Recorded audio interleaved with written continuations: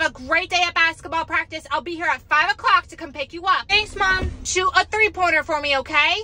Bye. I wonder how Sweetie's doing at practice. I'm a burrito. Yeah. My goodness, I gotta make dinner. Well, it's about 5 o'clock.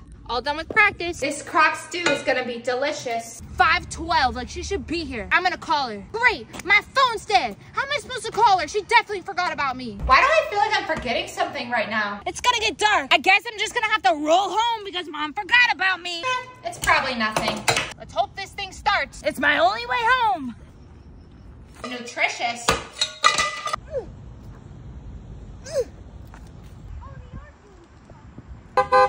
I'm a burrito. Mom! Oh, hey, sweetie, there you are. I left you some crock stew in the refrigerator. You can just heat it up in the sink. You left me at practice. Oh, yeah, that's right. That's what I was forgetting. I don't like today.